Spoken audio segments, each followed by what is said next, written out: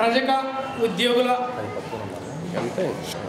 ఈ వేదికకు వివిధ ప్రాంతాల నుంచి విచ్చేసినటువంటి రజక మిత్రులందరికీ కూడా స్వాగతం సుస్వాగతం. ముందుగా ఈ కార్యక్రమాన్ని మనం ప్రార్థనతో మొదలు పెడదాం. ప్రార్థనకు మరియు మంత్రాలయం ప్రధానాచార్యుడైనటువంటి రాగణ సార్ గారు ఇచ్చేవలసిందిగా కోరుతున్నాం.